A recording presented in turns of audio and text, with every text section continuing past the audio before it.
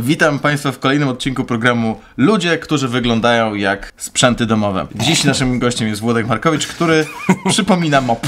Jak to się stało, że postanowił Pan zmienić e, imię z Włodek na Wileda? Ale ponoć się Pan waha, żeby jeszcze drugie zostawić sobie Jan Niezbędny. No czy to jest moje pełne imię? Jan Niezbędny. No zróbmy taki krótki teścik, zobaczymy czy jest Pan w stanie cokolwiek wyczyścić. No główką, no. Jak? Top 10 najgłupszych scen w lesie. Myślę, że wchodzimy z tą sceną wchodzimy, Wchodzimy. w dziesiątkę.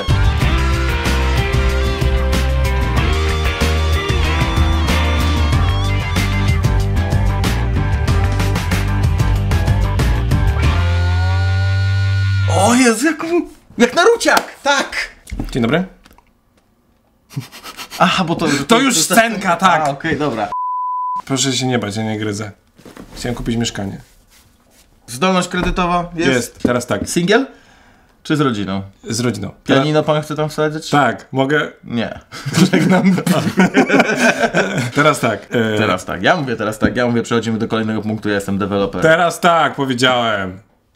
Ja słyszałem, że są różne jazzy z deweloperami. Jazzy? I jak-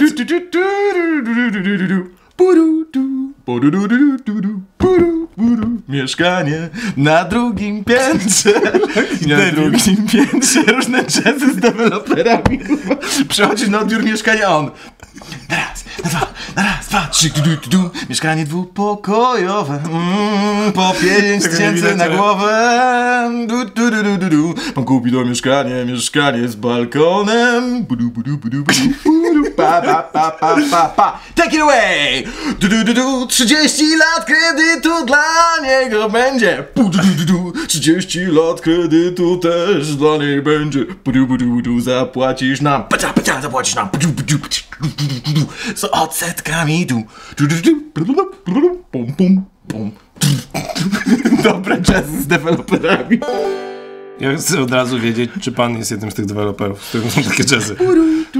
W środowisku deweloperów, jak coś się powie, to zawsze jest. No właśnie, o to Jak mi chodzi. ludzie zapłacą pieniądze, to budynek zawsze powstaje. O to, o to mi chodzi. Jak się na coś umawiamy, To zawsze to jest. zawsze jest. Tutaj liczba jest to osiedle, radosna jesień. No. Wszystkie budynki podwyższony standard. No. Metraż wymierzony. Znaczy tu nie ma, znaczy na razie tu dąb, sosna Dziura i malina, ziemi. no. Ale to jest to. Widziałem na wiskach. Ładne wiski. Ładne wiski. No bo właśnie na to najwięcej pieniędzy dajemy, żeby wiski były ładne, wie pan. Mhm. A Żeby... na kanalizację dajecie, czy? Jest taki wynalazek, że woda ma odpływ i takie tam ścieki. tu widział deszcz? A pan ma to kabriolet cały czas? Wyjrzy, klient, deszcz? No nie ma teraz, teraz nie pada. No, ale No, czasem o pada. co się czepiam? Bo czasem pada. Właśnie tutaj jest problem taki, bo ludzie kupili mieszkanie i im nie spływa. Deweloper sprzedał mieszkanie bez działającej kanalizacji. No wielkie Michalo. To samo pomyślałem. Budynki powstały, lokatorzy się wprowadzili, sielanka, pierwsze stuknięte lampki z winem, witam sąsiedzie, witam sąsiedzie. Takie wiesz, kurtuazje, no bo nowi, nowi mieszkańcy, bądźmy mili, a do Biedronki ile? Aż panie sąsiedzie, a jaki widok z waszego okna? A my na czwartym, a kuchnia ślepa. I ta kurtuazja tak. trwała do pierwszego deszczu. A Wystarczy mały deszcz, żeby droga na naszym osiedlu zamieniła się w bajoro. Nie róbmy z igły widły i nie wieszajmy psów na dobrym deweloperze, który wybudował Dobry dom. dobry dom. Właśnie budujesz dom i nie zakładasz, że deszcz może padać raczej. Tak jak w Chorwacji, tam rzadko pada deszcz. I to jest jedna sytuacja, że deweloper tam nie zbudował kanalizacji, a druga sytuacja jest taka, że deweloper wymyślił dodatkowe opłaty za parkowanie, a mieszkańcy wymyślili mu opłaty za wchodzenie do budynku. To było jakiś czas temu i rzecz się działa w Poznaniu, gdzie deweloper dał ciała, ale w mniejszym stopniu coś tam spieprzył z miejscami parkingowymi, z drogą dojazdową. Że kazał płacić za parking dodatkowo, a nie było tego wpisane tam w umowie, nie? Niemożliwe. Po raz pierwszy w historii deweloper wywinął taki numer. Lokatorzy wymyślili zemstę. Wprowadzili opłaty za dostęp do budynku. Opłata jednorazowa 10 zł, abonament miesięczny 150 zł, abonament miesięczny dedykowany, wejście gwarantowane do 30 minut 300 zł, tylko że potem napisali, że to jest żart. I taka dobra ta historia była. Tak mi się podobała. To nie trwałoby w nieskończoność. Ja nie, zresztą nie wiem, czy to jest w ogóle zgodne z prawem, czy coś takiego można zrobić. Tak To? sobie. Tak, to. Te dodatkowe opłaty? Tak. Czyli ty, Jesteś po stronie Jestem znowu? po stronie Bo nie wiem, po, w dzisiejszym odcinku nie wiem, po czyjej stronie jestem, powiedz mi. zamiast być po stronie ludzi uciśnionych, których gryzą w kostki, Kostki? bogaci Bogaci? miliarderzy, Aha. a ty stoisz po ich stronie, Karol, naprawdę? Myślałem, że z ciebie lepszy komunista.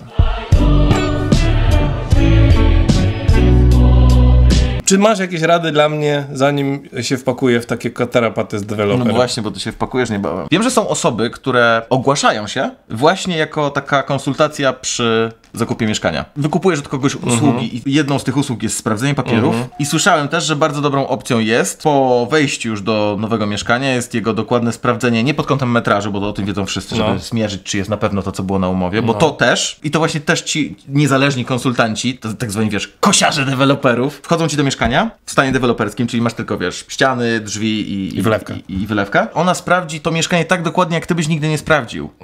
Trochę to jest jak w przypadku kupna samochodu używanego Tak. i w ogóle Trochę jesteś tak. już tak napalony na to, żeby już się wprowadzić, No, wiesz, pewno. wchodzisz do mieszkania i tak wiesz, klamka nie działa, nie? Okno patrzysz, coś tam świszczy, a ach, nic się nie stanie. Ale prawda jest taka, że jeżeli wchodzisz do nowego mieszkania Mhm. i są jakieś niedoróbki, od razu trzeba to zgłosić deweloperowi, żeby od razu to naprawił albo ci oddał pieniądze. Będę wynajmował do końca życia po prostu. Tak się to skończy. Tak. Nie no, żartuję. Oczywiście muszę kupić mieszkanie, żeby mieć co dzieciom zostawić, jak umrę.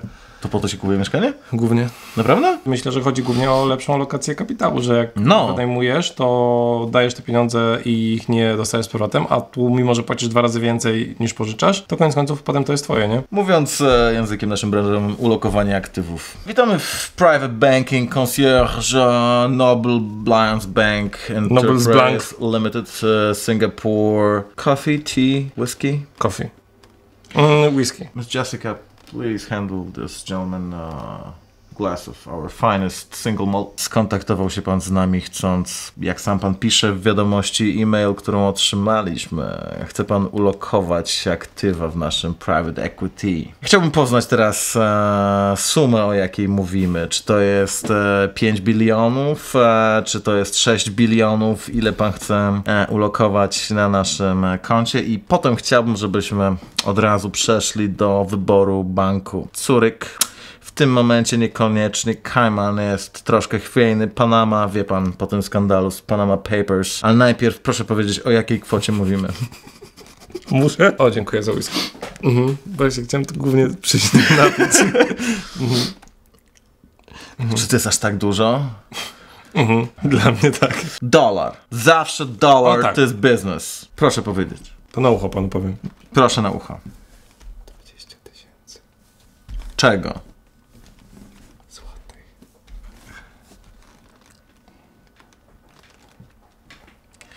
Nie dosłyszałem.